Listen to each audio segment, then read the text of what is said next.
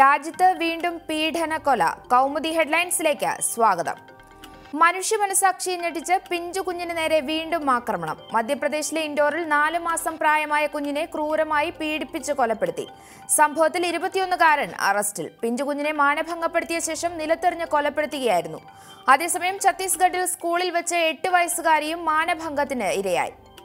കദ്വ സംഭവം രാജ്യവ്യാപക പ്രതിഷേധത്തിന് വഴിവെച്ച സാഹചര്യത്തിൽ പന്ത്രണ്ട് വയസ്സിൽ താഴെയുള്ള കുട്ടികളെ മാനഭംഗപ്പെടുത്തുന്നവർക്ക് വധശിക്ഷ ഉറപ്പാക്കുന്ന രീതിയിൽ നിയമം ഭേദഗതി ചെയ്യാൻ ആലോചിക്കുന്നതായി കേന്ദ്ര സർക്കാർ സുപ്രീം കോടതി അറിയിച്ചു രണ്ടായിരത്തി പന്ത്രണ്ടിലെ പോക്സോ നിയമം ഭേദഗതി ചെയ്ത് പന്ത്രണ്ട് വയസ്സിൽ താഴെയുള്ള കുട്ടികളെ മാനഭംഗപ്പെടുത്തുന്നവർ പരമാവധി ശിക്ഷ ഉറപ്പാക്കാൻ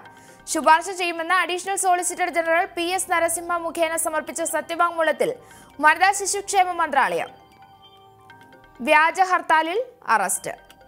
സാമൂഹ്യ മാധ്യമങ്ങളിലൂടെ സംസ്ഥാനത്ത് ഹർത്താലിന് ആഹ്വാനം ചെയ്ത സംഭവത്തിൽ മുഖ്യ സൂത്രധാരൻ അടക്കം അഞ്ചു പേർ കസ്റ്റഡിയിൽ കിളിമാനൂർ സ്വദേശികളായ അഞ്ചു പേരെയാണ് പോലീസ് കസ്റ്റഡിയിലെടുത്ത് ചോദ്യം ചെയ്യുന്നത് വോയിസ് ഓഫ് ട്രൂത്ത് എന്ന വാട്സപ്പ് ഗ്രൂപ്പിലൂടെയാണ് ഹർത്താലിന് ആഹ്വാനം നൽകിയത് ഗ്രൂപ്പിന്റെ അഡ്മിനായ കൗമാരക്കാരൻ നിരീക്ഷണത്തിലെന്നും വിവരം ജമ്മു കാശ്മീരിൽ ബാലികയെ പീഡിപ്പിച്ച് കൊലപ്പെടുത്തിയതിൽ പ്രതിഷേധിച്ചാണ് കഴിഞ്ഞ തിങ്കളാഴ്ച തീവ്രവാദ സ്വഭാവമുള്ള ചില സംഘടനകൾ രഹസ്യമായി ഹർത്താലിന് ആഹ്വാനം ചെയ്തത് സമൂഹ മാധ്യമങ്ങളിലൂടെ വ്യാജ സന്ദേശങ്ങൾ പ്രചരിപ്പിച്ചായിരുന്നു ഹർത്താൽ ആഹ്വാനം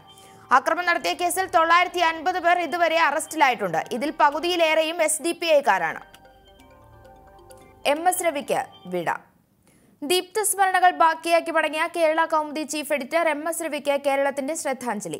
മാധ്യമ സാമൂഹിക സാംസ്കാരിക മേഖലകളിൽ സജീവ സാന്നിധ്യമായിരുന്ന അദ്ദേഹത്തിന്റെ വിയോഗം അറുപത്തിയെട്ടാം വയസ്സിൽ ഇന്നലെ ഉച്ചയോടെ സംസ്കാരം ഇന്ന് വൈകുന്നേരം നാളിന് കൗമുദി അങ്കണത്തിൽ പൂർണ്ണ സംസ്ഥാന ബഹുമതികളോടെ പേട്ടയിലെ വസതിയിൽ പൊതുദർശനത്തിന് വെച്ച ഭൗതികദേഹത്തിൽ രാഷ്ട്രീയ സാമൂഹിക സാംസ്കാരിക മാധ്യമ രംഗങ്ങളിലെ പ്രമുഖർ അന്ത്യോപചാരം അർപ്പിച്ചു എം എസ് രവിയുടെ വിയോഗത്തിൽ ഗവർണർ ജസ്റ്റിസ് പി സദാശിവം മുഖ്യമന്ത്രി പിണറായി വിജയൻ പ്രതിപക്ഷ നേതാവ് രമേശ് ചെന്നിത്തല എ കെ ആന്റണി തുടങ്ങിയവർ അനുശോചനം രേഖപ്പെടുത്തി മലയാള പത്രപ്രവർത്തനത്തിന് പരിവർത്തനത്തിന്റെ മുനയും മൂർച്ചയും നൽകിയ പത്രാധിപർ കെ സുകുമാരന്റെ ഇളയ മകനായി ആയിരത്തി തൊള്ളായിരത്തി അൻപതിലായിരുന്നു ജനനം അച്ചടി മാധ്യമ രംഗത്ത് ആധുനികതയുടെ ഘട്ടത്തിൽ കേരള കൗമുദിക്ക് പുതിയ മുഖം നൽകുന്നതിൽ നായകത്വം വഹിച്ചത് എം എസ് രവിയാണ് ശൈലജ രവി ഭാര്യയും Kerala Kaumudi editor Deepu Ravi director marketing Darshan Ravi എന്നിവർ മക്കളുമാണ് ഇടതിൽ ചർച്ച തുടങ്ങി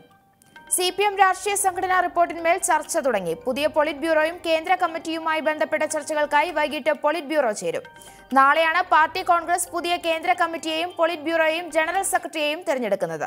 സീതാറാം യെച്ചൂരി തന്നെ ജനറൽ സെക്രട്ടറിയായി തുടരാനാണ് സാധ്യത പോളിറ്റ് ബ്യൂറോയിൽ നിന്ന് എസ് രാമചന്ദ്രൻ പിള്ളയും എ കെ പത്മനാഭനും ഒഴിഞ്ഞേക്കും രാഷ്ട്രീയ പ്രമേയത്തിന് അംഗീകാരം നൽകിയതിനു ശേഷം ഇന്നലെ രാത്രി രാഷ്ട്രീയ സംഘടനാ റിപ്പോർട്ട് പാർട്ടി കോൺഗ്രസിൽ പോളിറ്റ് ബ്യൂറോ അംഗം എസ് രാമചന്ദ്രൻ പിള്ള അവതരിപ്പിച്ചിരുന്നു ഈ റിപ്പോർട്ടാണ് ഇന്ന് പാർട്ടി കോൺഗ്രസ് ചർച്ച ചെയ്ത് അംഗീകരിക്കുന്നത് കേരളത്തിൽ നിന്ന് എം രാജേഷ് പി സതീദേവി ചന്ദ്രൻ പിള്ള എന്നിവരാണ് ചർച്ചയിൽ പങ്കെടുത്ത് സംസാരിക്കുന്നത്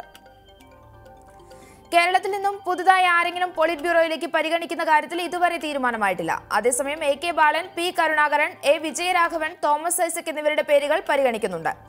മഹാരാഷ്ട്രയിൽ നിന്നുള്ള അശോക് ദാവളെ പോളിറ്റ് ബ്യൂറോയിലേക്ക് പുതുതായി എത്തിയേക്കും പി കെ ഗുരുദാസൻ കേന്ദ്ര കമ്മിറ്റിയിൽ നിന്ന് ഒഴിയും പകരം എം വി ഗോവിന്ദൻ കേന്ദ്ര കമ്മിറ്റിയിലേക്ക് എത്തിയേക്കും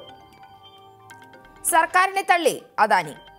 വിഴിഞ്ഞും തുറമുഖ നിർമ്മാണത്തിന്റെ മെല്ലപ്പോക്കിന് നഷ്ടപരിഹാരം നൽകണമെന്ന സർക്കാരിന്റെ ആവശ്യം തള്ളി അദാനി ഗ്രൂപ്പ് ഒക്ടോബർ ഇരുപത്തിനാലിനകം പദ്ധതിയുടെ ഇരുപത്തിയഞ്ച് ശതമാനം നിർമ്മാണം പൂർത്തിയായില്ലെന്ന് പറയുന്നത് ശരിയല്ല